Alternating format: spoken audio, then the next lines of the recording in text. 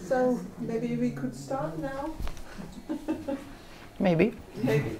So thank you, Masha, and it's our pleasure to have you among us as, as a guest from the LabEx EFL. Uh, just a few words to tell that you are a professor at the University of Stockholm and let's say one of the most prominent uh, specialists of lexical typology today. So the floor is yours. Uh, thank you very much. Okay. Can you hear me? Euh, Est-ce que tout le monde entend Macha, est-ce qu'ils entendent Oui. Macha Ok. Uh, thank you very much for having me here and for having invited me here. Um, and um, um, we started this process more than four years ago, so things have uh, gone in various directions since then. Uh, I was supposed to come here two years ago, so I wrote this application four years ago. Uh, and uh, so we'll see how much of what I'm going to talk about these days I have to do with the um, original application and what I have promised to do. I just don't know. we'll see. so Huh? Some people are still coming. Coming. they're still coming. What should we do? No, Dance in the yes, meantime? Continuous. We just continue. on, yeah. Okay, and uh, just the introduction. and when I hear things like um, I'm one of the most prominent people, I just want to escape because it's the, the imposter syndrome comes back with all its strength. So, um, uh, so yes, most of you present here know me, have already seen me, uh, and uh, some of you also know what this picture depicts. It's me and our dog, Cairo, in the archipelago of Stockholm. Um, so um, um, I have promised to talk about lexical typology in various shapes and in, various directions. So, um, well, all of you, most of you will know what linguistic typology is. Uh, some people have to get updated on this, perhaps. Uh, so, linguistic typology is, in one of the uh, definitions, the study of linguistic patterns that are found cross linguistically, in particular, patterns that can be discovered by solely by cross linguistic comparison.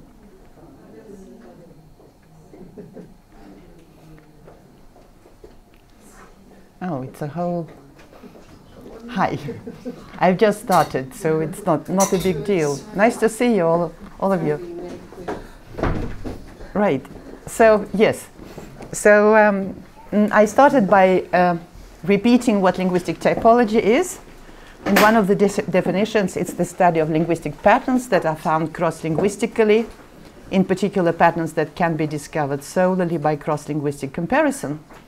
And we all know that typological research takes linguistic diversity as its point of departure, and it assumes further that the variation across languages is restricted and aims at discovering the systematicity behind it. So there are various kinds of typology. There's grammatical typology, syntactic typology, morphological typology, phonetic typology, phonological typology, sign language typology, you name it. Uh, so what is lexical typology? And there are various versions of definitions, but uh, here's mine. Uh, it's a systematic study of cross-linguistic variation in words and vocabularies. That is the cross-linguistic and typological branch of lexicology. And uh, people very often evoke uh, the classical definition of Adrienne Lehrer. Lexical typology is concerned with the characteristic ways in which language packages semantic material into words. It's a good definition. Okay, so again, those of you who were in Frejus and some other people know that I um, try to define the three main research angles in lexical typology. Um, so onomasiology, semasiology, and lexicon grammar interaction. So onomasiology means that we start with some particular semantic domains. We start with denotation or meanings, and we go to expressions. So we're interested in how languages carve up a particular domain by means of lexical expressions. So color, body, uh, temperature, how many different distinctions there will be by words and lexical expressions. Uh, the other uh, point of departure, the other research angle is uh, semasiology. So we start with expressions and then we go to meanings. So if we know that a particular word means body in reference to the body, the concrete body, what other meanings can this, you, can this word have, synchronically or diachronically? So this will be the um, uh, semasiological um, approach or perspective. And then we have interaction between lexicon and grammar because most of grammar is very sensitive to lexical distinctions. And there's a lot of things that happens with particular domains particular lexical groups when it comes to how they behave uh, grammatically.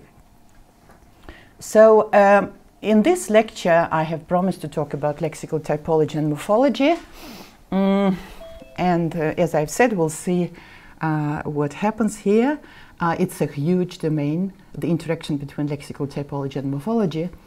Um, and uh, I refer you partly to a chapter um, in the um, Oxford Research Encyclopedia in Morphology, chapter of on lexical typology and morphology that I um, uh, published together with Luba Veselinova. Um, so morphology is concerned with the study of the internal structure of words and uh, the two central questions of morphological studies are the systematic covariation of form and meaning and the combination of morphemes to yield words. Uh, so if we compare lexical typology and morphology, as I said, there are very many points of um, um, uh, overlapping points of interest there, we can say that one of the overarching questions in lexical typology is how the lexicon is organized in terms of structurally more basic and structurally more complex lexical expressions. It's an interesting question, I think. Very rarely discussed, actually. Morphology, one of the fundamental questions is what are the smallest meaningful units and how are they combined to form words? So we see this there's a lot of overlapping here. But these are sort of two different disciplines, and people very rarely communicate with each other when it comes to these questions. And it's a far, vast field of research where we know very little about the cross linguistic variation.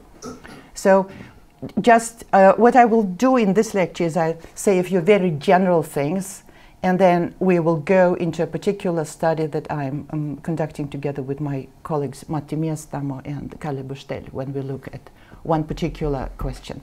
So we talked about these uh, structurally more basic and more complex lexical expressions.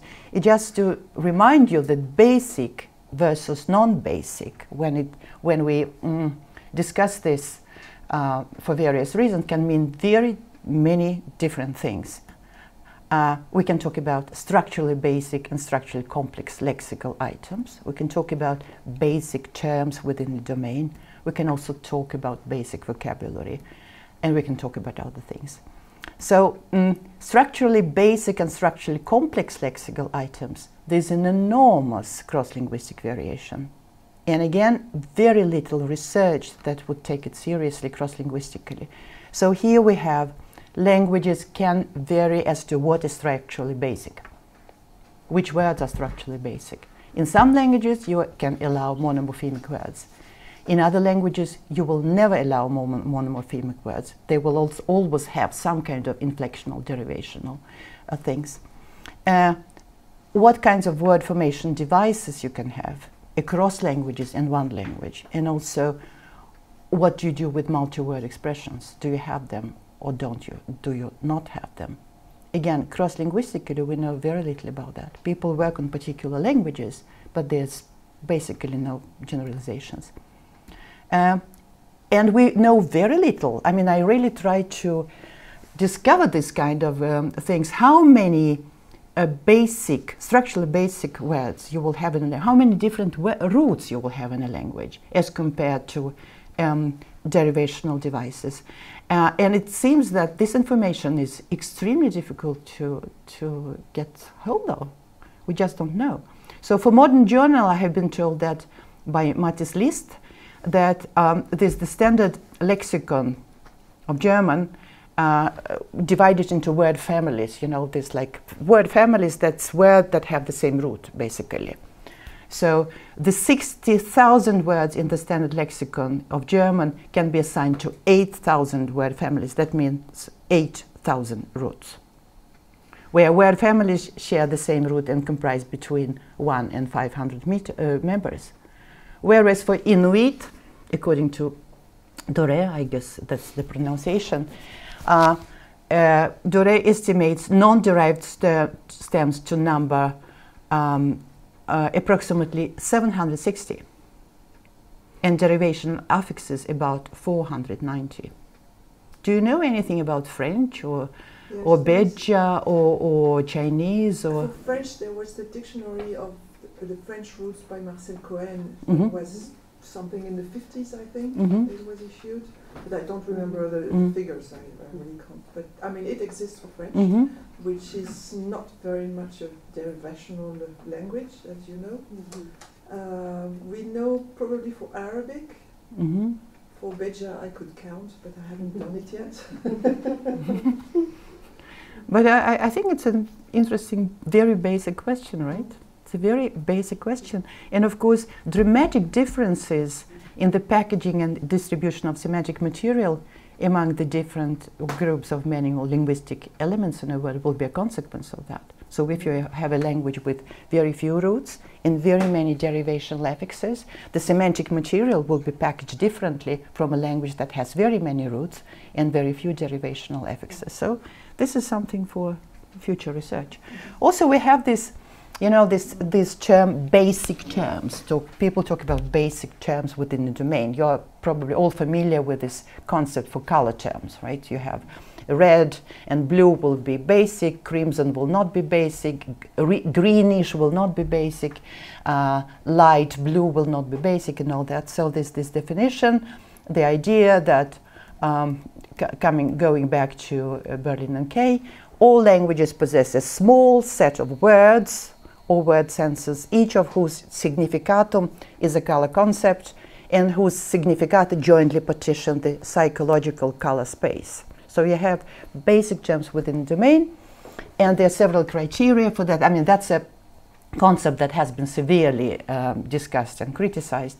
But the main criteria that um, have been suggested are these terms will be morphologically simple or at any rate non compositional. That means that light blue will not be a, the basic term. They are generally known in the whole speech community. Um, with their meanings generally agreed on, they are salient or frequent. That means people come up with this. If you ask for a color term, they will give you red and blue rather than whatever it can be, turquoise. Um, they are native or at any rate nativized.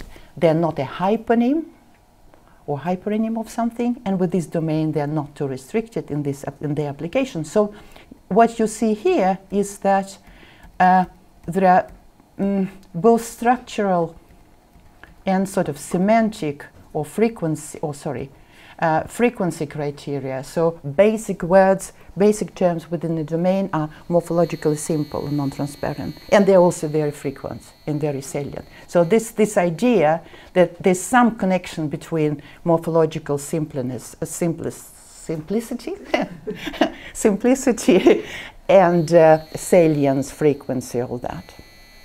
Then we go further to basic vocabulary. Again, at something, a concept that pops up here and there, and people don't really discuss this seriously. So, what is a basic vocabulary? Um, Lehmann, yes? Masha, uh, shouldn't we add another point uh, about basic vocabulary uh, concerning the color? Uh, semantic point is that uh, uh, the word shouldn't be is derived from another word. For instance, orange, orange in French. Right? Uh, I think it wouldn't it Yes, shouldn't be mm. considered as basic because, because it's derived from the, the fruit, the Mhm. name the fruit. Mhm. Is that right? Yes, it's one of the criteria. So there are different versions of that. So there won't be, and you will say that in a way, mm, orange. Well, in French, mm, it's um, it looks the same as the fruit, right? Uh, it's, and it's not only that it looks the same. No, no. I mean, there's no, there are no derivational affixes and whatever. In, in No. some other languages, you will clearly see that it is derived because there will be yes. It's a metonymic Mhm. Right. Yes. So so this transparent, the this criteria that it should not be transparent, is um, can be um, extended. So it's also you see the polysemy that is very transparent. You're absolutely right. Yes. Yes. Uh, but if we go back to, to basic and non-basic vocabulary, so what is a basic vocabulary? Everyone has heard the word, right? So what is, huh? Yes. Yes. so what's a basic vocabulary? What, uh, what is a basic vocabulary? We talk about basic vocabulary of a language. What is it? The, the most uh, used in uh, daily use, by, Mhm. by the most of most speakers use it in the in a daily use. Mhm. don't know. hmm Is it language specific or is it? Yes. It is language specific. At Mhm. least but partly because it depends on the culture, uh, Mhm. on cultural en- environment, hmm habit, uh, so. Right. So here's a definition by Christian Lehmann, who has some kind of, I don't know, it's a it's a collection collection of methodological um, articles on how to describe a language. So he has this article on basic vocabulary, and he talks about basic vocabulary of a language, which comprise those words that are most useful for the speaker and hearer because they're most frequent in texts of different genres, design, uh, designate concepts that are central to human life, suffice to paraphrase and explain all the other words of the lexicon. So exactly what you said, Stefan. Uh, so it's a basic vocabulary of a language, and we see, we see that he um, mm, evokes these notions of frequency, semantic centrality, and psychological salience. And possible, well, he doesn't talk about universality, but a little bit. But then there are other versions of basic vocabulary.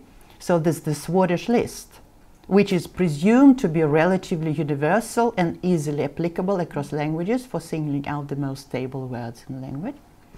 Then there's the natural semantic metalanguage, which suggests a restrict by uh, and Goddard, a restricted set of semantic primes, concepts that can be demonstrated to be common to all languages, are not easily decomposed in terms of other concepts, and show a strong tendency to be lexicalized. People also talk about basic vocabulary as words that are acquired by children at an early stage of exposition.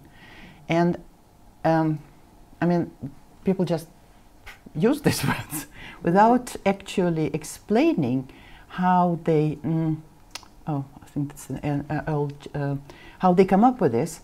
And what's interesting also, the morphological structure of basic vocabularies on the whole is rarely discussed. Uh, so real, really rarely discussed. And you would you would expect that okay if this a it's a basic vocabulary something that children acquire very early something that we use frequently perhaps most of these words will be monomorphemic or non-derived but this is absolutely not so so for Chinese it seems again referring to Mattis List and his colleagues then 30% of the words in the Swadesh list are formed by compounding or derivation so an unresolved issue in lexical typology on the crossroads to morphology would be to what extent languages vary in their versions of basic vocabulary. That is, how they vary as to which of the concepts in the suggested lists of basic concepts have structurally more basic or more complex exponents and how complexity is achieved in each of these cases. I think it's a very interesting question actually. There's some, some work on, uh, um, uh, you might know some of your a paper by um, mm, um, by, by Andrei Kibrik that uh, Martin and I published uh, in a special issue of, linguis- of linguistics like 10 years ago, where he went through the list of concepts mm, in Tomasello's book. Tomasello's book is about his daughter acquiring, what was it, German, English. So her first words. And he goes through these uh, concepts, and these are the first concepts that are acquired by this child. And what Kibrik did was he tried to um, um, translate this list to uh, a couple of languages, so Russian and an Athabascan language, whether these will be simplex or complex. And it turned out there are dramatic differences. So some very, very simple concepts in English have 10 correspondences in Athabascan, and they will all be very long. Some other words that um, you have in English won't have any correspondence and all that. So, so I think this is a very interesting um, uh, issue in, um, in um, cross-linguistic when it comes to cross-linguistic variation, but we know very, very little about that. So lots of things to do. Now, after all this general, uh, general um, uh, introduction, I will mention a few more restricted approaches where people try to understand how uh, particular relations, particular domains, and particular whatever uh, semantic can be um, um, described in terms of more struct structurally more basic and more complex expressions.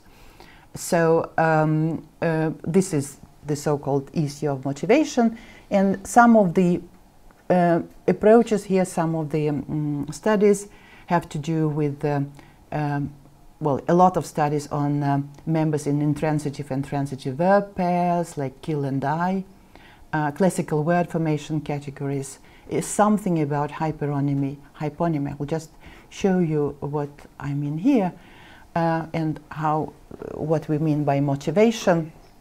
So motivation is, among others, a term that um, was um, elaborated on by uh, our late colleague Peter Koch, uh, where he talks, he suggests a definition that if we take a given word of a given language as a reference point and its meaning M1 as derived from another meaning M2, the meaning M1 may be described as being motivated by the meaning M2, be it diachronic semantic evolution or synchronic polysemy. And so Peter Koch and his uh, colleague Daniela Marzo, um, Marzo, they talk about a motivational square. So we have two concepts that are related to each other cognitively or semantically, and there's a formal relation uh, between how these two are expressed. So you have this very simple example from causative and anti-causative, so transitives, non-transitives.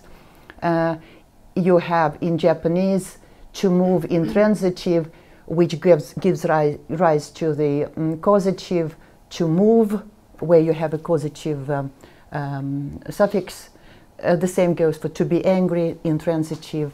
Um, to annoy will be a causative of that. So these two uh, concepts to move intransitively and to move transitively, clearly there's a very there's a very clear cognitive relation between them, semantic relation. One is uh, one is the causative of the other, uh, and also to be angry and to annoy, the same cognitive relation. And you see that it corresponds to causative. So there's a cognitive relation and a formal relation, right?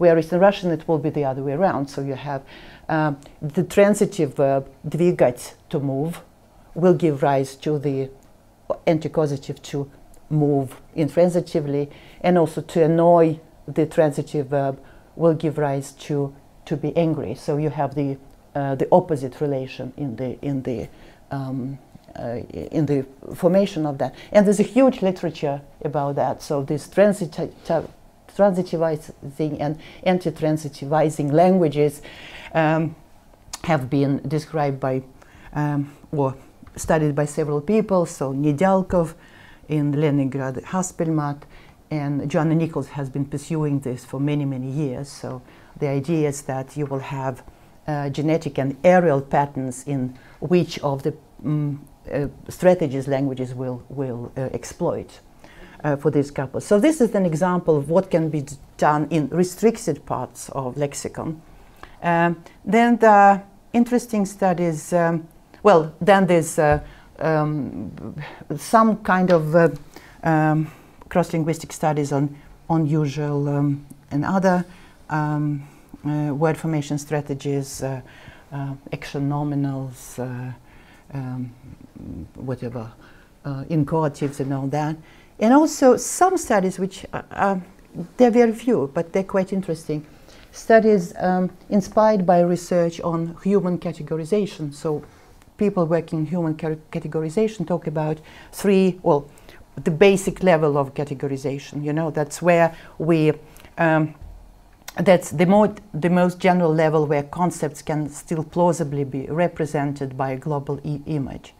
And uh, um, there's this idea that concepts on this level will very often be um, correspond to uh, like simple underived words, whereas um, concepts on the lower level or on the superordinate level will be derived from them. It's, there's very little research, but there's some kind of tendencies. So here we have uh, the the same in English, of course, but uh, the basic level for talking about plants. So plants will be superordinate, but then you have different kinds of plants.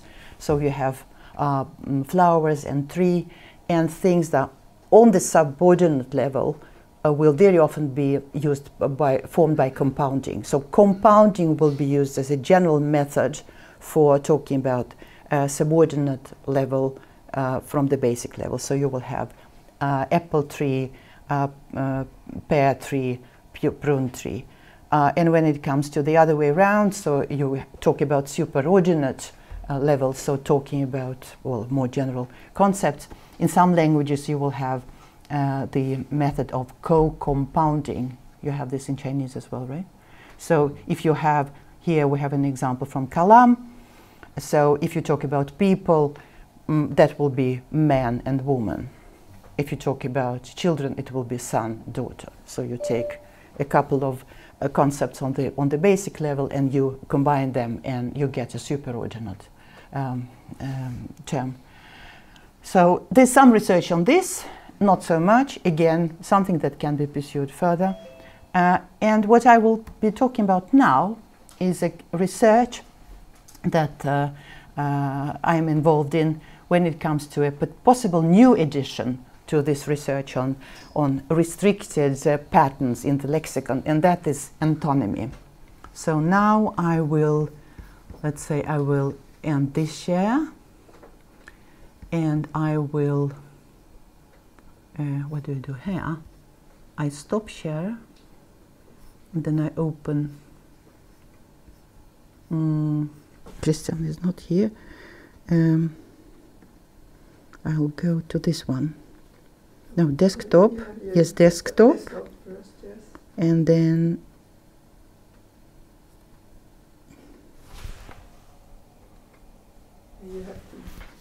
but this is not. Yeah, that's what I mean. Stop sharing.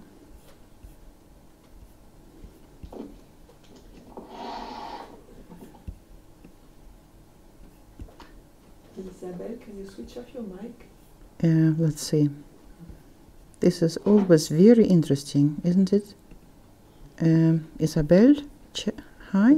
So, a share desktop share. You will see all my secret. Mm-mm. Uh, there's something coming on happy words. Is that what you? Yes, I want to share happy words. On, on our computers, but not on the screen. Okay. mm. okay but yes, I. I all right. Oh, okay. Uh, uh, okay. And then I do. Slideshow. Slideshow, play from start. Hoop. Okay. so, so this is a study, uh, okay, uh, that um, mm, uh, we have uh, had various versions of the title here. Um, mm, because we have been doing this for many years. Uh, so this version is called, is called Unhappy Words. And uh, this is a study um, carried out by myself, Matti Miestamo from Helsinki, and Carlo Kalle Börstell, which who used to be my PhD student but now is a lecturer in uh, in Bergen. Uh, and some of you have been involved in that, in this study. Uh, uh, Mark has helped us with some data, but you probably don't remember that. That no, was years ago. That's years ago. Science takes time, you know. Research. It's so. So um, what we are looking at is um, um, antonymy, and we are interested in to what extent um, antonymy can be lexical or derivational. So we have this couple here, big and small. They're two different words that are not not related to each other at all. But then on the other hand, we have happy, unhappy, where unhappy is derived from happy. So the question that we are pursuing here is what, which types of property words are typically targeted by lexical or derivational antonymy and why. And uh, we do this uh, cross linguistically. Instead of zooming into one language, we look at um, 37 antonym- antonymic pairs in 55 languages by systematically comparing this, this, uh, uh, these pairs. So, um, this is something that we started doing, well, as I said, several years ago. Research takes time. Uh, and we were, we got interested in that um, because um, the question of why you have happy, unhappy pops up in various, um, in, in much research on semantics and in uh, theoretical morphology. Mm, so um, uh, what I will talk about now is um, various as a background for, for this work, various studies on antonymy, typological work on negation, early generalizations on words like unhappy, and uh, semantic classes of adjectives across languages as um, uh, researched by Dixon and then Aikhenvald. So let's start with these uh, studies on antonymy. So antonymy. Antonymy is a very popular uh, topic in lexicology, in semantic theories and logic. And there's also a growing psycholinguistic, neurolinguistic, and corpus-based research um, focusing on antonymy. So we have these traditional distinctions going back to Aristotle. We have types of opposition, we have contradictory and complementary antonyms, dead and alive, and there's nothing in between. Well, uh. Undead. yes, undead, yes, undead. And then you have contrary, big and small, so there's the scale. And so words like big and small, there's a lot of discussions on scalarity, what kinds of uh, scales there are. Uh, now, um, what is antonymy? I don't know if, if you've had a chance of thinking about it. It's a very elusive concept, actually, or, or um, a phenomenon.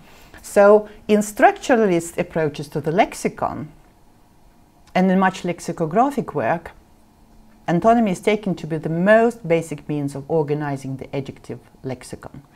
So, words are really connected by antonymic relations.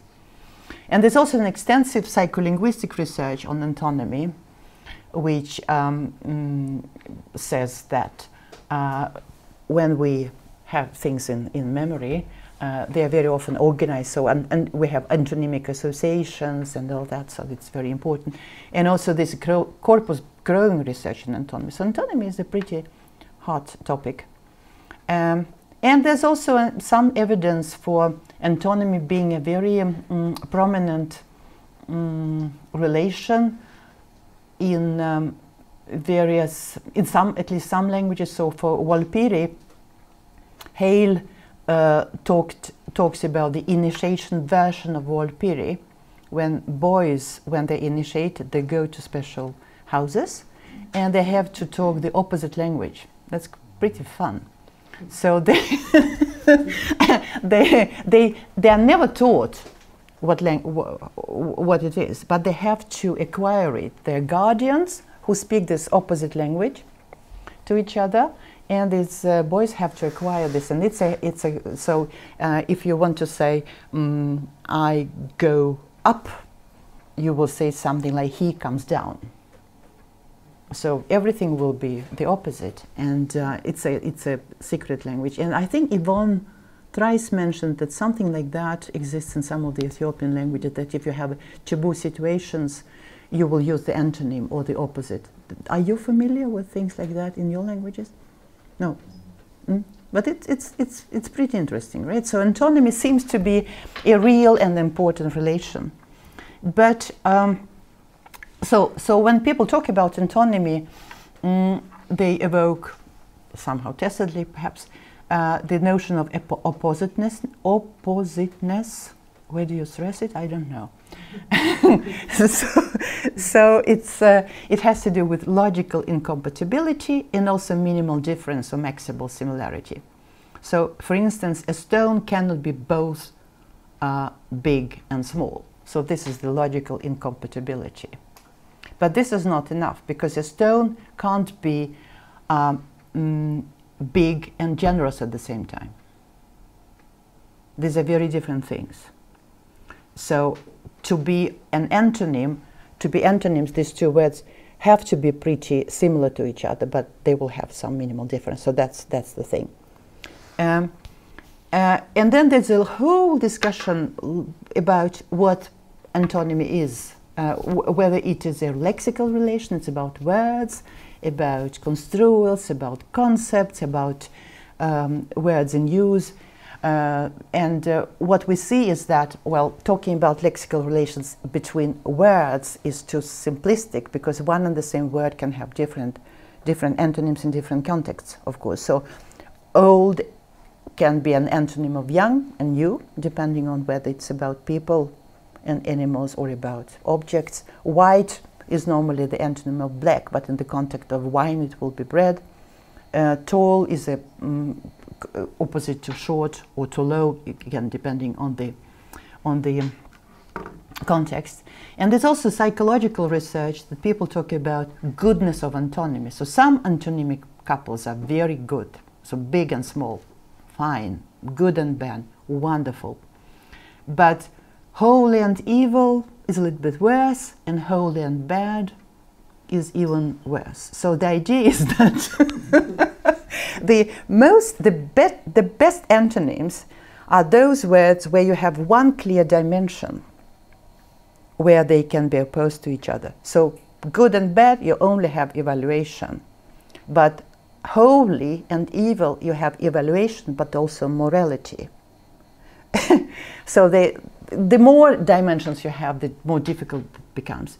And also the relative position of the meanings on this dimension. So the opposition, the antonymic couple hot and cold is better than cold or cool or hot or cool because hot and cold are at the same distance from the middle, whereas hot and warm or hot and cool will be either on the same um, side of the middle or at different differences. You understand what I talk about? I mean, it's pretty trivial, but uh, but it's it's interesting because you when you start thinking about that, you see that antonymy is very heterogeneous. So theoretical semantics um, says that dimensional adjectives that are those those um, uh, words, those concepts that are best when it comes to antonymy. So you can say things like big and small, thick and thin, and all that. Uh, whereas for other domains, antonymy is much less um, well, much worse defined and you have clusters. So brave, bold, courageous, cowardly, timid, fearful, all that. So it's much more complicated. All right. There's also corpus uh, based research on antonymy, again, talking about goodness of antonymy. And that's also quite interesting because what you find is that ant- antonyms very often seem to co occur in corpus. Uh, so you can even um, understand which were the an- antonym- antonyms by analyzing corpora. They, they seem to co-occur in various things like uh, mm, bad and good, bad but not good, you know, all this. So there's uh, quite some extensive research on that, and it turns out that um, there, there's like a, um, people have come, um, well, drawn the mm, conclusion that uh, languages will have canonical antonyms, a limited core of highly opposable couplings that are strongly entrenched as pairs in memory and conventionalized as pairs in text and discourse, while all other couplings form a scale more, from more to less strongly related. And these uh, dimensions will be speed, luminosity, strength, size, width, merit, and thickness. Very interesting research, but of course confined to just a few languages. There's something on Japanese, but otherwise it's English and uh, uh, Swedish and a couple of other languages. So, right. What is also, um, what we, I mean, all these things, we will need them for talking about this study. Um, also, in connection with um, antonymy, people often talk about markedness. You know this concept, right? Okay. hmm So, uh, uh, so people will say, well, big is unmarked, whereas small is marked, or happy is unmarked, whereas unhappy will be marked. And this notion of markedness seems to be very, um, very, um, mm, how would I say, Elusive. Ah, elusive, elusive. Um, so there, it's used in various versions, but it seems that the most important components there are mm, uh, um, valence and magnitude. So we're talking about big and small. There They have magnitude, big is more of something, and small is less of something. And valence, if you have difficult or easy, difficult will be positive, easy, no, sorry, um, uh, negative, and easy will be, will be positive. So what is important for us is that in studies of, of antonymy, people very often talk about polarity. And polarity means several different things, but among other things, some in some theoretical work, it has been suggested that negative um, element, negative semantically negative element, is important for at least some antonymic things. So it's a theoretical literature. So, so there's something negative in the meaning of little, in the meaning of unhappy, and all that. All right. Okay. So these um, mm, we can draw some interim conclusions of antonymy. We see that there's a recurrent semantic relation between members of an antonymic couple, at least for some, the best antonymic couples. The recurrent semantic relations, meaning that the two words like big and small, happy and happy, they're very similar, but they're also dissimilar to, to something. So this is this recurrent relation. Uh, given this recurrent semantic relation, we may expect that at least some of these words may also be formally related to each other. Remember this motivational square, right? So if kill and die, move and move, they have this um, uh, semantic similarity, but also some recurrent difference, and it corresponds to, say, causative or anti-causative thing. So we might expect that the members in antonymic pairs will be formally related. Is this very boring, or it's all right? Tell me, and, uh, and, I'll, and, I'll, and I'll tell you something different. also, given that the idea of polarity, that something negative, pops up here and there uh, in discussions of antonymy, we would expect that these formal markers of relatedness between the members of the antonymic couple will have something to do with, with negation in a broad sense. And, in fact, this idea has been um, used in earlier, um, what I say, um, well, by some people. So, you know uh, Orwell's 1984, uh, where um, uh, um, the inhabitants in this state um, are mm, expected to use a special language, Newspeak, which is similar, which is very simple in various uh, various respects, and um, mm, it should have a small vocabulary. And uh, uh, Orwell says, in addition, any word could be made negative by adding the prefix "an." By such methods, it was found possible to bring about an enormous diminution of vocabulary. Given, for instance, the word good, there was no need for such a word as bad, since the required meaning was equally well, indeed better, expressed by ungood. We find it also the same idea in Esperanto. So the creators of Esperanto thought that. Huh? Orwell. Had read George Orwell. Yeah, well, I think no, it was it was it was earlier. It was earlier. it was earlier. So also this idea that well, why should we bother about uh, having special special uh, roots or stems for in antonymic couples? So so antonymy is basically mm, formed by, mm, by adding mal to the sort of positive or to one of the members. So we have um, mal alta, low, mal bella, nasty, mal bona, bid, bad, mal granda, little, mal rapida, slow, mal seca, wet. Uh, and even, uh, let's see, which was, what was it? Um, ah, I think that hot is mal calda. No, uh, cold, which is very weird because in languages you normally don't have it. So that temperature words for hot and cold in normal languages, but in Esperanto one is derived from the other.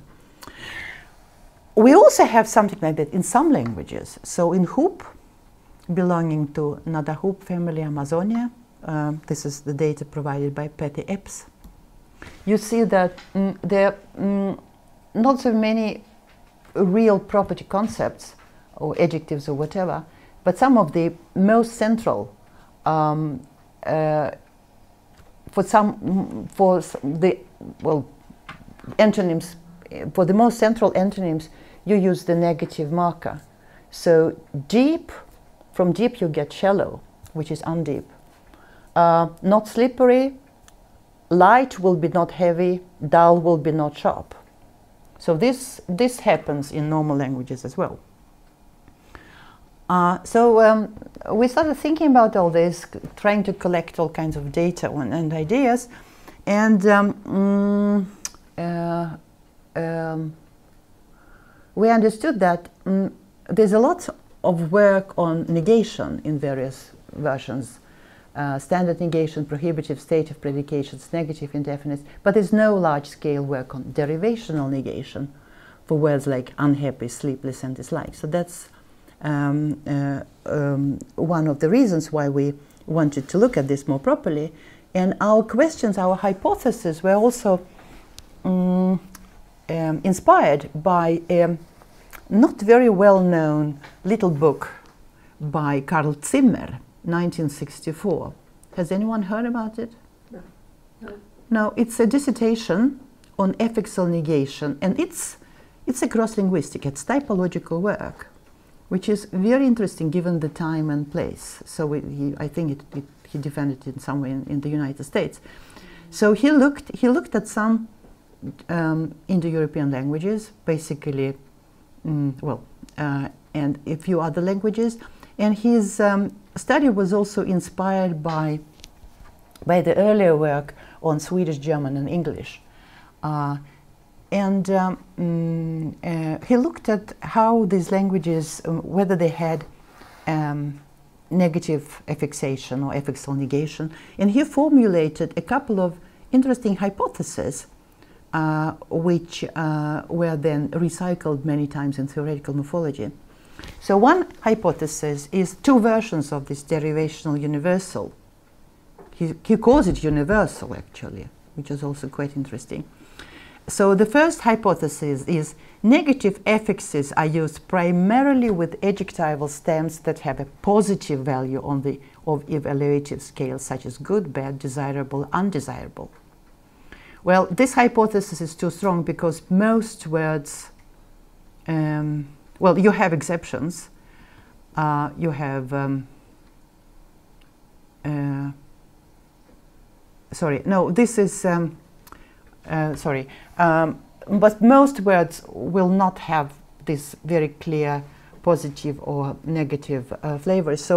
The other hypothesis is negative affixes are not used with adjectival stems that have a negative value on evaluative scales such as good, bad, desirable, and undesirable. And here we have exceptions. You can have uncorrupt, unselfish. But these are at least hypotheses, very interesting hypotheses. So, so the idea is that if you have words like good and bad, you can expect ungood, but not unbad. Uh, something.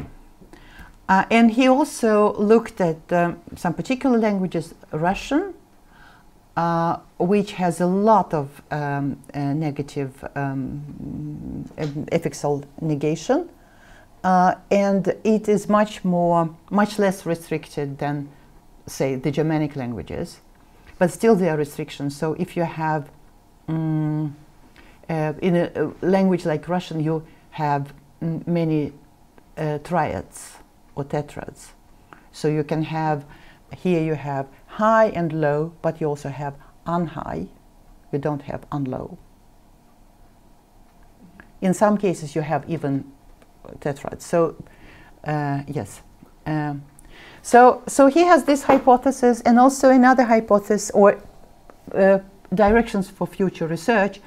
Another problem for further investigation would be the degree to which there's a cross linguistic similarity in the concepts that are designated by simplex terms and the degree to which antonym pairs of the schema X versus un-X can be matched in different languages having negative affixes.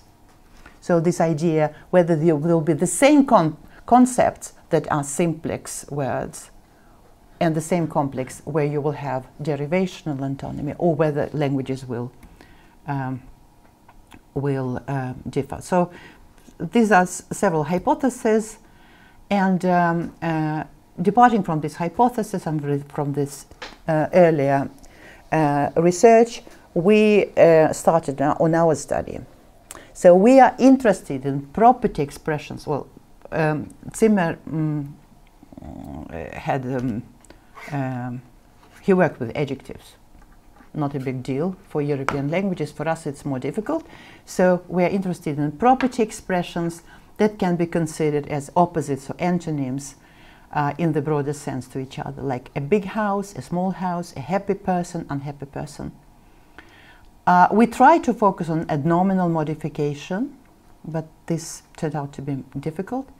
And we focu- our focus is further narrowed to a list of 37 antonym pairs that form our questionnaire. So, so our basic question is which types of property words are typically targeted by derivational versus lexical antonymy and why across languages. Uh, and we had a lot of trouble with terminology. So in the end, we mm, agreed to have our own terminology, not talking about basic, derived, complex, and all that, because that's, as, as I said in the beginning, these are very um, elusive terms. So we use uh, the words negative constructed forms, where the added derivational element has the semantics of negation in a broad sense, and we have plain forms. These are not derived with an element that has the meaning of negation in a broad sense. So uh, here how we code our data, just to show you what is meant by plain and negative constructed. Um, so we have a couple good and bad for English. Well, the first antonym is plain, the, first, the second antonym is plain, and we don't have any negative constructed forms for either the first or the second. Uh, then we have happy and happy, not a big deal. So the first antonym is plain, the second is not plain, it's negative constructed. Now we have French, profond, peu profond. Uh, we have decided to code peu profond as negative constructed because per has this negative semantics in a broad sense. And the element doesn't have to be morphologically bound, but it's sort of, uh, um, yes. Then we have examples like uh, Estonian, where you have õnnelik, and õnnetu uh, for happy and happy. Now both are derived from õnne, which means happiness. Uh, but we said, say that õnnetu, unhappy, has a privative or caritive suffix without, whereas õnnelik is just an adjectival, an adjectival suffix. So we call them as plain for happy and negative constructed for the unhappy. You get it? Uh, I mean, we tried all kinds of coding and all kinds of um, uh, strategies for many times. So we tested how this would work, and that's how we came up with this. Then we have mm, cases like Turkish, possible, impossible. Now, impossible has the privative, the privative suffix sis, even though it is not derived from word for possible.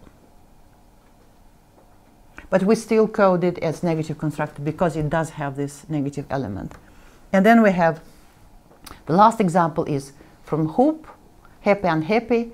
Happy is a property word, whereas unhappy is an idiomatic verbal expression. Um, one's heart, one's heart spirit is ending. And we have lots of examples of that, but we um, ended up with not glossing them as um, either plain or constructed. We just don't gloss them as um, as as property words. But why, Masha? Because you could also argue that it is a part, ending or finishing is partly negative, also like peu in French. Right, but it's not a property word. I mean, it's a whole. That that's the thing. So again, we tried with various versions of that, but we ended up with not treating this as a word, as a lexical expression.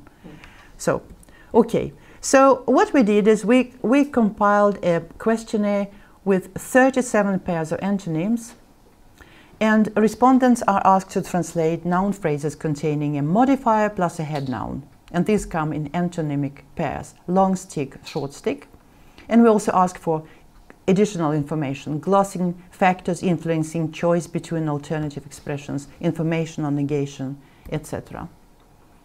Uh, for choosing these couples, we try to show different cases of this along this goodness of antonymy continuum. So we have antonyms coming from different groups of property con concepts as they are mm, listed by Dixon. So we have core, those property concepts that pop up as adjectives in languages with a closed adjective class, like dimension, age, value, color.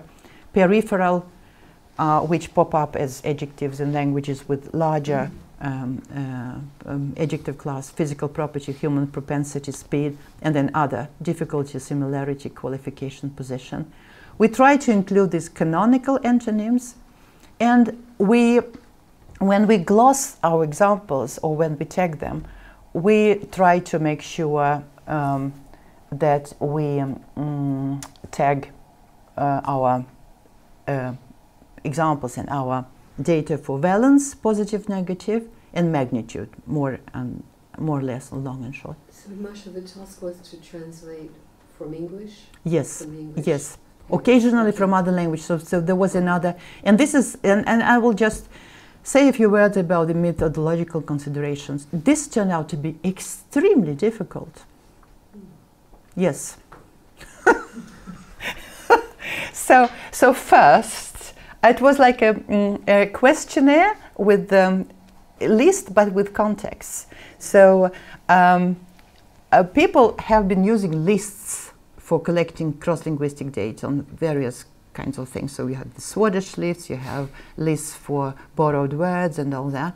And there are huge problems with that because the assumption underlying these projects is often that the concepts in the lists are easily understandable and easily translatable across languages, which is, of course, far from being true. Well, you think that if you give something like a good, a good car, a good house, or a bad house, people will know what we mean. But uh, yes, good has turned out to be very problematic. M some of these things have turned out to be very problematic. Now, the exact semantic, the exact semantics is um, a pragmatic um, consideration. So you don't need to be exactly have exact semantics, but you want to have some kind of equivalent. Uh, but uh, so depending on what on what your study you have, but there are obvious pitfalls that you want to avoid because words have different versions, a different meaning. So dull will be a dull knife and a dull person. Uh, high, as I said, it or long can be long and short and long and uh, high and whatever. So that's why uh, you have to be more specific about what has to be translated. And one, one possibility is to define your concepts, like this is now being done in Concepticon. And this requires quite some energy and semantic, semantic awareness. So what we did is a half um, cowardly attempt to at least narrow down the meanings of the words that we're talking about to context. So that's why we have a long stick or a um, thick book or whatever. So we, we give this context so people will understand what we're talking about. Still, this creates problems. So I, I, I gathered mm, some material on mm, Ak- Akan, for instance, and people, even though I had dull, uh, dull knife, they translated it, it as dull person. Yes, I didn't know. I didn't understand that it would be so difficult. Uh, also, we have to give the, these antonyms in, in pairs, right? So, so big or small. And first, uh, our first um, intuitive um, solution would be to, to, well, this markedness thing. We know that, well, normally, but big and small, uh, good and bad, and whatever. Uh, then it turned out again that this is also pro- very problematic for various re- reasons. So we decided that the order of these antonyms was sensitive to valence and magnitude. I mean, not for all the antonyms that we had, but for those those mm, antonyms where we could see a clear difference between opposition and valence. So one were positive, the other was negative. We chose the positive first and then the negative. For those that have this magnitude difference, we chose the bigger before the uh, before the smaller. But then there's there are several pairs where this order is less obvious. Uh, and this some research, as I said, on the order of um, uh, no, I didn't. I didn't mention that. Um, corpus uh, studies on antonymy, where people for several languages come up um, with the results that um, antonyms tend to appear in in the same order. So big normally precedes small. You know these kinds of things. Okay. So here are our antonyms. And we code here different colors. So we have large and big, small, little, long, wide, deep, tall, high, thick, old, good, beautiful, black. Then we have hard, heavy, sharp, wet, clean, hot, warm, bright, rich, wealthy, happy, clever, kind, good, generous, well, brave, strong, alive, fast, quick, difficult, true, normal, common, important, possible, correct, near, right.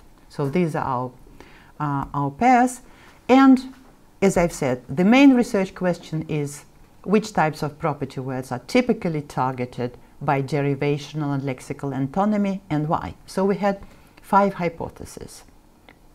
So the first hypothesis is the second antonym should be more likely to accept negative constructed expression than the first one. So the second, this is the one which is less positive and less on the magnitude if it is applicable, and then something else.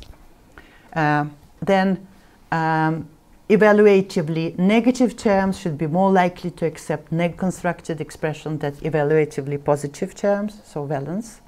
So we are, um, there's a higher chance that you will have ungood than unbad in the language. Hypothesis three terms denoting smaller magnitude should be more likely to accept negative constructed expressions than terms denoting greater magnitude. So there's a higher chance that you will have unbig than unsmall in the language. Core opposition should be more likely expressed with plain forms, uh, whereas neg-constructive forms would be more likely found in the category other. And then we hope that our hypothesis was that one of the hypotheses that would be a trade-off in the languages. So if you use, um, if you have many derivational um, antonyms, you will have less lexical, and the other way around. Are you with me? Mm-hmm. Still not very boring. a little bit. Fine, go on. Okay. So here's our language sample. Unboring. Half boring. Unboring. Un- unboring. Okay, thanks.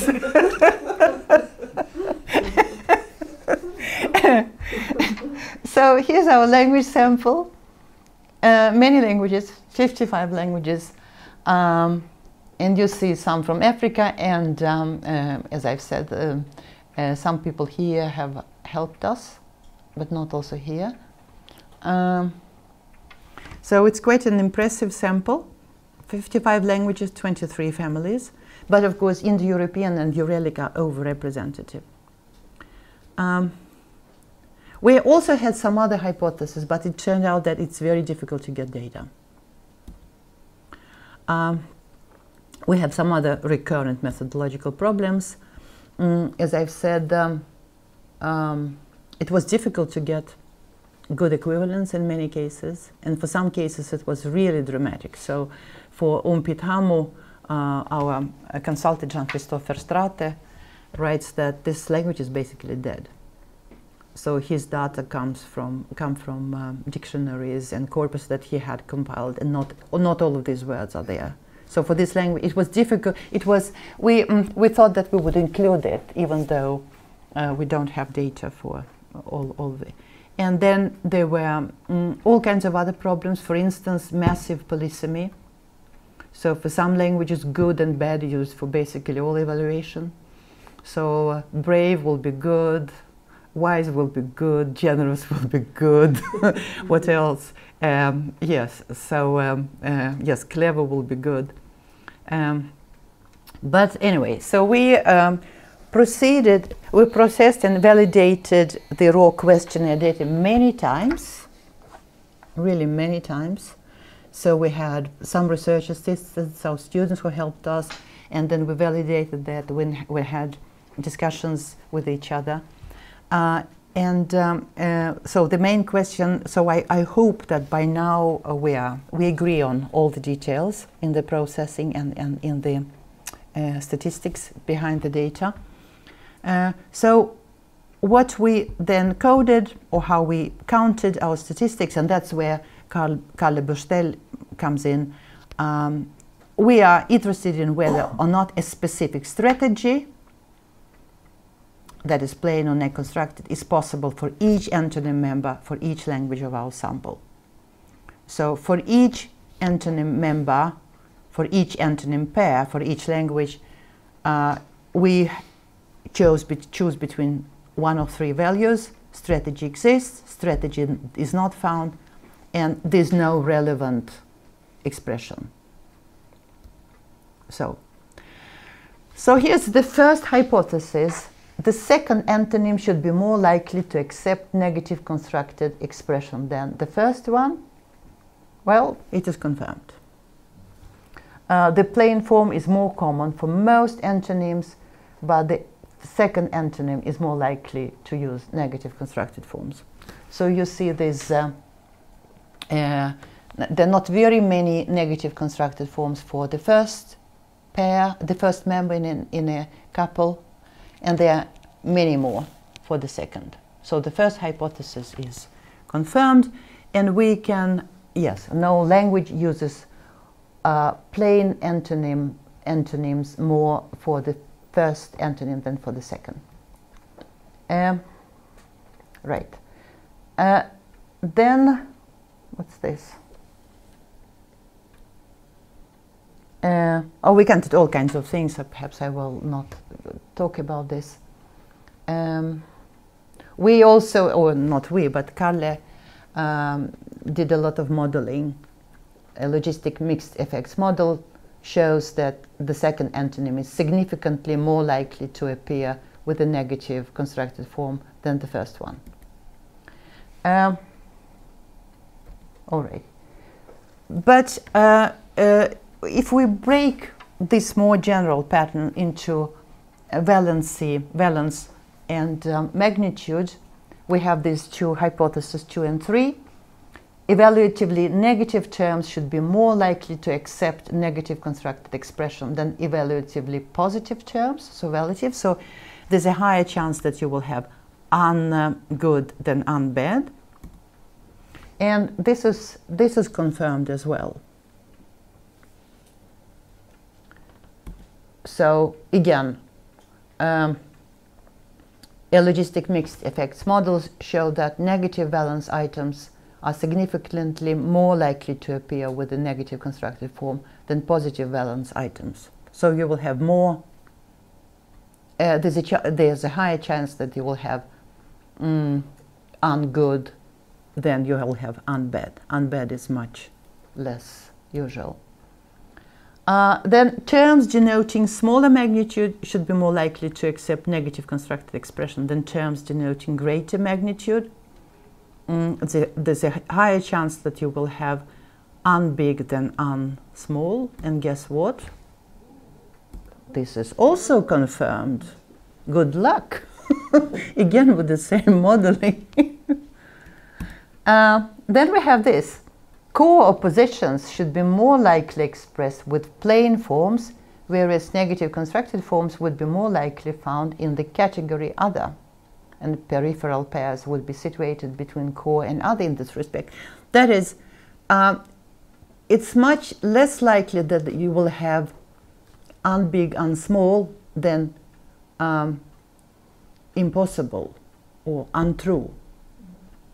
So this core is, you know, value, um, um, mm, age, these things, whereas peripheral and, and other, these, these are things like possible, impossible, true, false, correct, incorrect, happy, unhappy, all that. Uh, and um, uh, if you just look at this, it seems that the hypothesis is confirmed, but it is not. So if you apply statistical methods, it, it, it shows that there is no significant uh, difference, which was a little bit surprising. And we also hope that based on the principle of economy, there should be a trade-off between lexical and derivational expression. There, that is, there should be an inverse correlation between the frequency of plain versus negative constructed expression in each antonym pair, um, in, in, each antonym pair. Uh, so if a language has many derivational antonyms, it will have less lexical antonyms, and the other way around. Um, well, there's some evidence that this should be, but it's not very strong. Um, yes, and here we have some words uh, that that tend to have double expressions in quite a number of languages. So even in English, you see sad, unhappy, uh, incorrect. You can have languages where it is both a lexical expression and uh, well, um, plain and negative uh, constructed. Strange, odd, dirty, false, and some of these. Um, so um, um, um, yes, so some of them tend to have both plain and negative constructed uh, forms. So overall, for this study, many of our hypotheses are confirmed. The members associated with the second antonym, negative evaluation and less magnitude, are more likely to accept negative constructed form than the first antonym, the positive, more magnitude antonym counterpart. Most items are expressed with a single strategy rather than double, point, double, which points to this principle of economy. But we do not see this expected decline across the classes core, peripheral, other in the use of negative constructed forms. So it's good news, news that we have uh, confirmed our hypothesis. However, it's a little bit like uh, what, the, what do we say? A big uh, mountain that gave birth to a mouse, or what's the expression? In a way, we were sli- I am slightly disappointed because our original assumption was that languages will have lots of these um, uh, derived antonyms when it's such a clear relation, and we have languages like English, German, Swedish, Russian, where there are plenty and plenty and plenty of negative, um, negatively derived antonyms. Um, well, it turns so it turned out to be a disappointment in a way. So um, uh, these um, negative constructed forms are in general fairly rarely used in the expression of antonymy across the languages of our sample. So there may be different reasons for that. One reason is that um, we have an, not so many languages, uh, not so many um, Native American Indian languages, or what's the word now, the native languages of Americas. So like Hup. So in the region of Amazon, it seems that this the pattern of deriving uh, shallow from deep and small from, from big and all that, it's quite quite frequent, but we only have Hup. Uh, I have also some article about um, uh, well languages spoken in in Northern America where you also have this kind of pattern, but we don't just don't have any any any data apart from one or two articles that we can't use because it's not systematic. So so there may be regions in the world where there's a lot of this stuff, but we just uh, haven't come across. Uh, 55 languages is a little bit too little for, the language of the world. But there might be also a deeper reason for that, because ah, after all, uh, the best antonyms, um, these most canonical antonyms, are very frequent words. So if you think about big and small, um, um, deep and shallow, good and bad, they're very, very frequently used words. And uh, words that are frequently used tend to be, in a way, non-transparent or simple, right?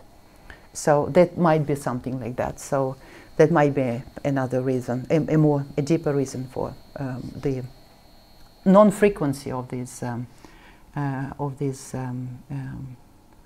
um, strategies across the languages of the world. So that's all, uh, and uh, it's a lot of work, and uh, we are very grateful to all the language experts who contributed their data through our questionnaire, and also to our research assistants. Um, who have uh, helped us to code and um, tag the data um, and all that. Thanks.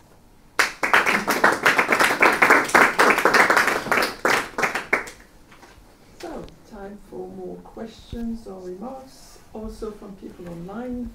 What, Mm, what do I do now? And show. Yes, on the discussion list. Masha, have you published anything on, on this topic? We are, we are in the process, en Oh. train. So we are finishing this paper Mhm. and we are brushing up our data because, um, so we, because we want to, to make it um, accessible and transparent. Mhm. and our own database has some um, mm, dirty things. So we are we are brushing up, and we hope to be to be finished mm, well in one or two months. Listen. hmm There's a chat some, somewhere. Ah, je confirme. Okay. All right. No, no questions so far. No I question. question. Yes. So, about the um, the interpretation about your results, Mhm. which you said that you were disappointed at. I mean, You are not. not necessarily because I, I, if I think back of what you said in the beginning, that antonymy is kind of a concept that is maybe not really useful or real. Doesn't your study? Yes. Uh, okay. hmm So, but the, uh, confirm this, but in order to to assess that, you would need to find a way to assess how likely it would be uh, if antonymy were a useful and real concept uh, cognitively, how likely it would be that you would find negative morphology on uh, on antonyms. And I don't know how you could do that unless if you looked in in other parts of the grammar of the same languages, I don't know, maybe reversive verbal morphology or something. I don't know. I mean, I, I think it's very it's a very interesting question because uh, I I wasn't even- aware of the um, uh, the debates uh, among those people who work on, on antonymy because we all I mean we all have textbooks in semantics, you know, like antonymy, ha, lexical relation, very clear, and then it's just uh, so many different things that come in.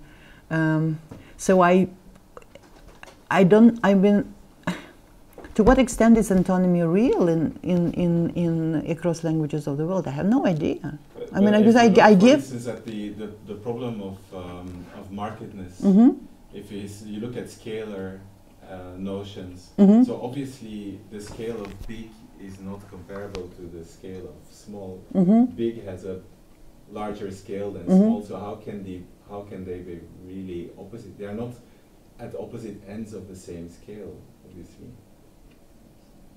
If you see what I mean, Mm. uh, big and small Mm. because big, the scale of that to which the adjective big applies covers the whole. I mean, if we're talking about length of humans, for instance, covers hmm the entire possible um, uh, area, whereas the scale of small is a, is a, is a much smaller one. That's why you can ask how big is he speaking Mhm. of a child, or whereas you can't ask about a giant how small is. Mm, so what what do you suggest then? Well, maybe that antonymy is not. It's not a real, It's a real thing. It might be, yes, it might be a conclusion. But, but the fact that it's, it is still that we still find these examples. And that you have evidence from psycholinguistics. Yes, but again, I mean, psycholinguistic evidence. That, that's interesting because psycholinguistic evidence is about just a few languages.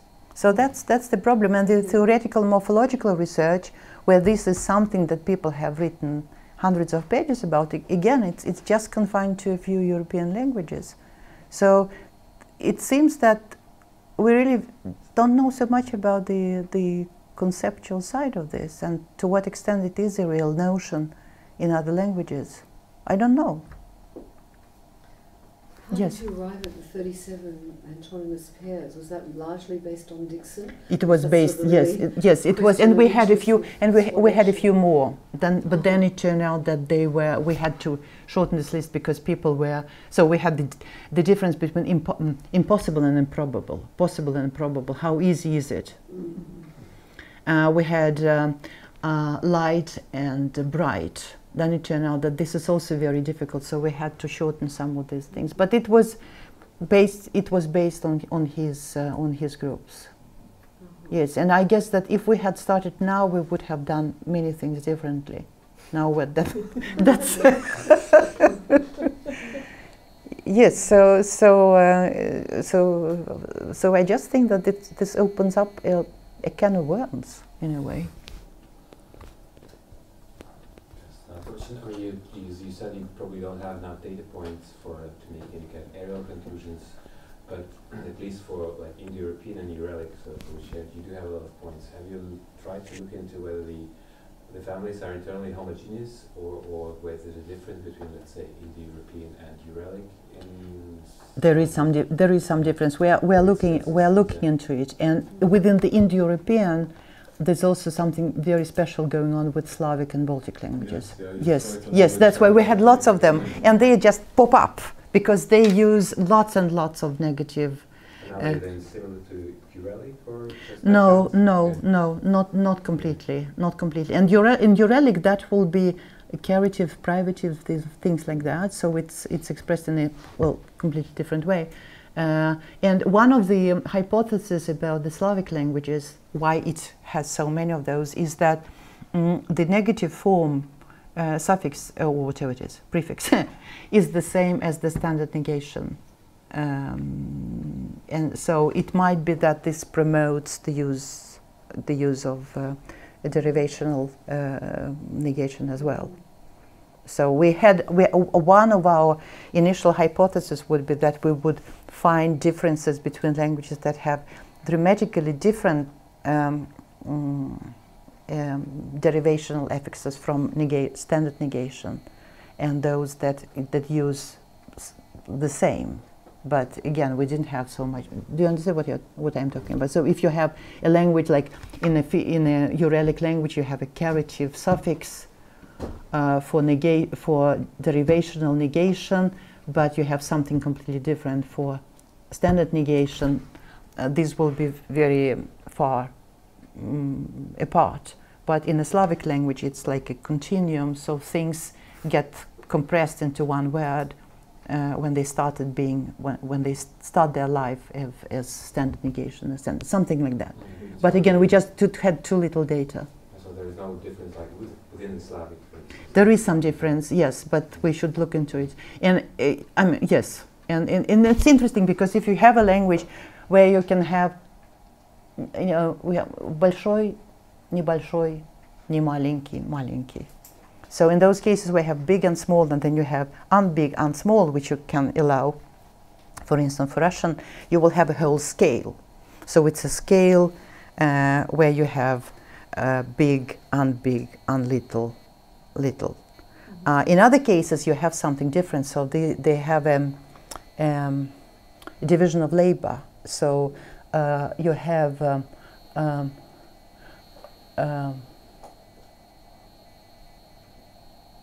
I was thinking about uh, what you can. Yes, so you you can have like um, deep and shallow, and then you have undeep. So for some cases, if you are talking about an armchair, it is deep. I don't know in, in English is it deep? No. No. So in Russian it's deep, and French too. yes, and if it's not deep, it's undeep, but you can't say it's shallow. Mhm. But for other cases, or you can have, um, if you talk about injury, because you can have um, a deep injury in Russian, глубокая рана. uh, do you say this in, in English? In French, you say. You say, yes. Yes. And then it's it's and and if it's not very deep, it's undeep. You can't say it shallow in Russian. So they, hmm yes. So you say so. So you you can these different mm, antonyms, lexical and uh, derivational. They can go in different directions. They can be used for different different purposes, different pragmatic purposes. And this was, in fact, something that we wanted to explore from the start. That if languages have these triads and tetrads, how would they be different and, and, and similar to each other? But it turned out that we just couldn't get the data. Uh, yes. So this is a little bit disappointing. But our, um, we would like, in the best of all the world, we would like to, well, have this paper published and then try to organize a kind of collaboration with people working on different languages, just focusing on the problem of antonymy. Is this a real notion? How is it expressed?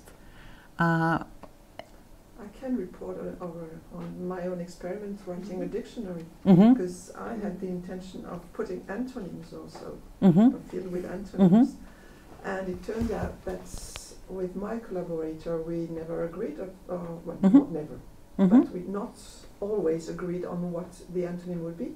mhm, And we turned up with several antonyms for one word, for instance, like you said, because depending on the context to which it applies, you will use another antonym uh, word.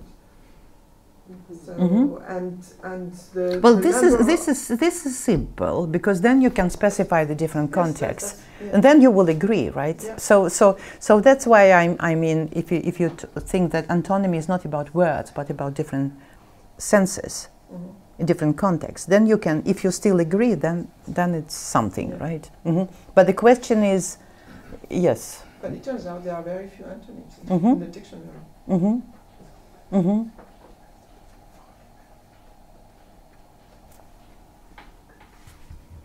Yes so perhaps we will i don't know destroy destruct antonymy after all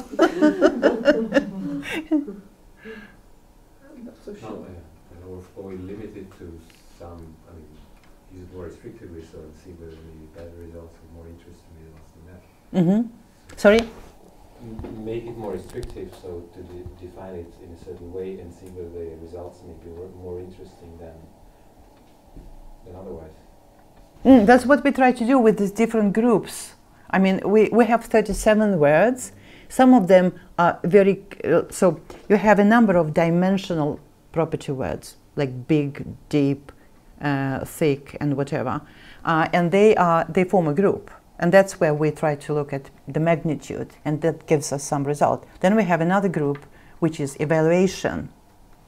And it also gives us results. But it's very difficult to say something about the whole sample of this 37 so couple so perhaps the dimensional as it has also been pointed out in theoretical literature so dimensional adjective dimensional property words are the best uh, examples of real antonymy because even if small and uh, and big about different scales and different entities still you have the feeling that if you apply to one and the same entity, there might be some mm, uh, common scale for, for big and, and, and little. So that's, that's the idea. There are some questions from people online. I mean, I know it's sometimes hard for you to interfere in the conversation, but please go ahead. Might have a question. Yeah. Go ahead.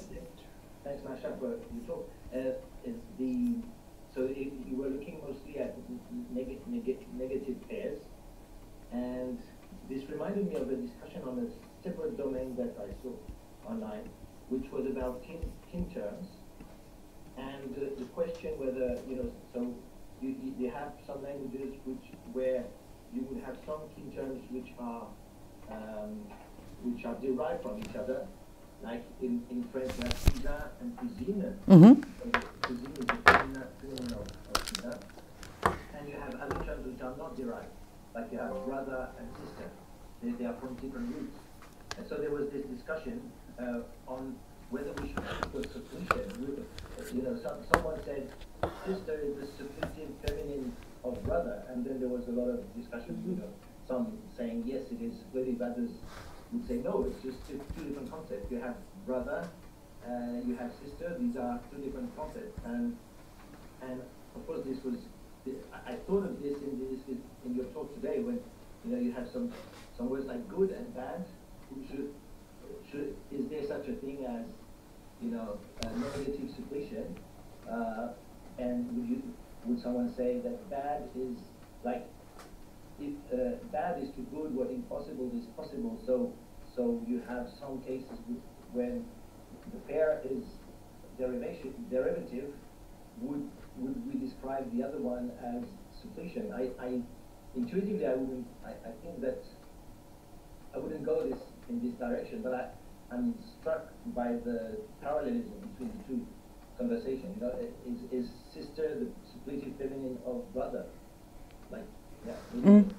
But, uh, uh, but Alex, doesn't this again open a can of worms because there's a lot of uh, a debate on what suppletion is. For some people, it's only inflectional, what you have in inflectional paradigms, and for some people, it's it's broader than that. What what do we gain by saying that it's suppletion? So yeah, I guess it's So there there is this para- parallelism, right? Yes. Mm, I mean, it, it, it raises uh, questions about how the lexicon is organized. Yes, I mean that's that's that's what I what I try to start with. It's it's a very interesting question on whether you can find patterns in the lexicon um, where you have um, uh, well regular patterns of deriving words from each other or whatever. When you uh, discover which words are mm, well, yes. So patterns and how the the lexicon is organized. So, so for instance, the, when you have pairs like happy and happy, you, we have formal means to say the one is basic, the other one is derived. Uh, and then this raises, you know, the question whether we can extrapolate from those languages to other languages where you would have, you know, two plain words like happy and sad, and say, you know, happy and sad are paradigmatically uh, opposed, uh, in even though they don't look uh, that they form a paradigm, because it, in another language you would have a derivation. So, it, you know, how how much can we apply from, can we um, infer from the structure of some languages which uh, deriva- derivation onto the structures of other languages? I don't have a site here. I'm trying to see how how far we can go in the idea that um, words like happy and uh, pairs like happy and sad are actually a pair, you know, or are they just two lexemes, two adjectives of the language, which which in the in the discourse would often come in pairs, I guess. But uh, I don't know what you think about that. My question to you, you all who work with uh, more exotic languages, uh, how easy is it to translate happy and unhappy to other languages? Easy. Is it? Hmm Would you would you uh, But a happy sad rather. hmm? Mm-hmm. Happy sad rather than happy. happy sad? Yes. hmm hmm That's the problem. That's the problem. Yes. hmm That's, Mhm. that's why I answered no. It's not easy. Mhm. to do. hmm Because uh, I understand that um, when it comes to feelings, propensities, characteristics of people like generous, stingy, things like that, these are very culture specific, aren't they? Mm. And there, in those cases, it will be diffi- difficult to first get translational equivalence and also understand if there is a if there is a mm, an opposition, right? So for those cases, very often we get some kind of periphrastic construction, and people will say, "Well, he is not something," rather than having an equivalent for the, say, stingy when you when you have when you have generous. So yeah, so I think that again, going back to these very clear cases where you have dimensional dimensional uh, adjectives and a few um, other of these very central um, evaluative, um, very simple evaluative um, properties, perhaps there you can find um, a much clearer pattern in how languages organize their lexicon, but but um, uh, broadening this to, to the other antonymic uh, pairs becomes very difficult. Whether, whether the notion itself is, is something viable when it comes to this. Yes. Um, uh, a question on frequency. Did you take that into account with the 37 pairs? Because going back to that hmm um, remark that you made about Mattis, List, and Mhm. German, hmm uh, that sort of seems surprisingly enormous. That you know, 60,000 roots and 8,000 word families. Now, that wouldn't be used presumably in everyday conversation. Um, that comes back to the question of your hmm choosing the, hmm the basic or plain Mhm. uh, antonym pairs. Mm. We haven't done this systematically, but we um, mm, think that a large portion of this will be frequent, but we have to check this. Masha, I was curious, uh, why was it so difficult to deal with uh, these property words when they are predicates and not adnominal in an, in an construction? Okay, so we, we um, mm, wanted first to make sure that we won't get cases of standard negation, predicate negation. So we Um, won't things like we won't get things like um, he is happy, he is not happy. So we wanted to get away of the, from th- from this. But then it turned out that in many languages, most of these expressions won't be used nominally at all. So we have to allow predicative construction. But then we asked people to tell us, "Are you sure that this is not a mm, predicate negation?" And there can be different different tests for that. So semanticians have complicated tests. Uh, well, if you have things like in English, uh, he is unhappy, then you can say he's unhappy, isn't he? but he's not happy is he right so you have different tag questions and there might be different different questions for this different semantic uh, questions so we ask people to to help us to sort out that the examples that we got in predication were not just sentence negation.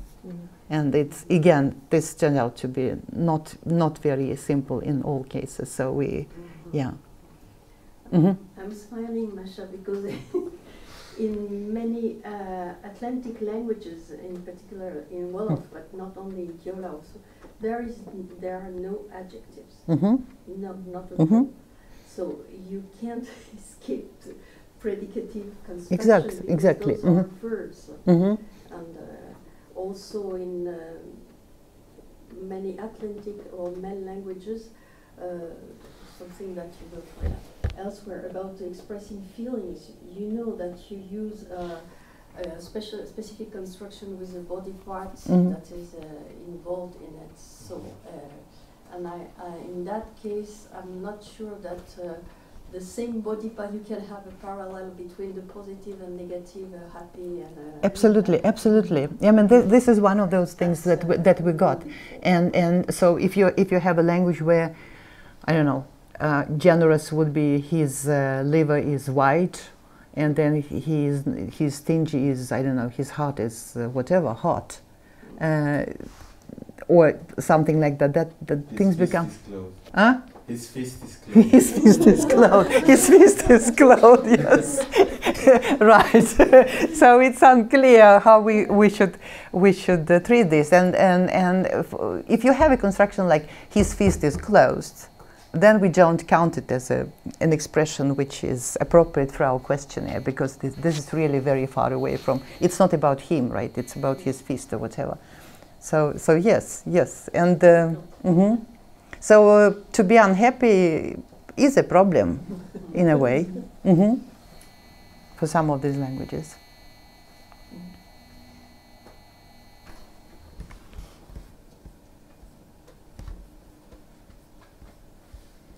Any more questions? Yes, I have one. Yeah. hmm Uh, Thank you uh, for your talk. Uh, I was- You, you mentioned a lot of color addic- addictive, but you didn't pay attention, uh, apparently, to the boundaries of the scale. If are upper bound or lower bound, and if the, the standard is near, for example, dirty and clean, or for, for clean, something has to be completely clean to be, to be clean for be. And do you think this uh, doesn't, pay, doesn't interfere with what you said about antony- antonymy like that? Or it's just because uh, you think you can be? Uh, yes, thank you very much for, for uh, taking this up. You're absolutely right. I mean, the, the scales are a complicated matter. Uh, the problem is that we, um, we just have too, too few data, data points. So we can't classify our examples in even more, in even um, smaller groups. In the beginning, we thought that would, there would be a difference between, say, contrary and contradictory antonyms, that we will get some difference there. But then it turned out that we just have too few examples. We can't, we can't make any statistical, um, can't, can't draw any statistical uh, conclusions there. So, so it's the same. It's the same thing here. And dirty and clean is uh, it's it's a very interesting example, by the way, because uh, uh, also how you how you think about this semantically is dirty. Uh, what um, uh, dirty is the presence of some dirt, then it's in a way mm, um, positive. I mean, it's it's magnitude. Uh, it has something that cleanness does not have. On the other hand, it's um, uh, dirty is the opposite of clean in the in the in the um, sense that um, it's unclean. So um, um, yes, Yes, and to be dirty, only a, a small speck of dirt makes you the thing dirty. hmm While uh, to be clean, the, the thing has to be completely, yes, hmm it is upper bound. right, yes, hmm And will you, your, your slide will be available? Or? yes. I can put yes, I can put them somewhere Yeah. if you're interested. The whole session is also filmed, and so it will be online on the website of the LabEx, together And, with the uh, files, of course. geogra- geography also, The what? I suppose. Uh, Bibliography. The bibliography. Oh, Uh, I will. Uh, I will edit. Yes, definitely. And I, I'm very grateful for all comments and all questions because it's uh, we're still in the process of finalizing the paper, so we uh, uh, we need these things. We need feedback.